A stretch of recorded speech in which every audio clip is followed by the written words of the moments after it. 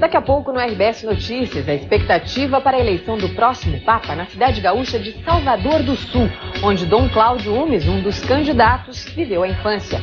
E ainda, preso em soledade, o ex-deputado e ex-secretário estadual Gudben Castanheira, acusado de envolvimento na morte de um advogado na cidade em janeiro.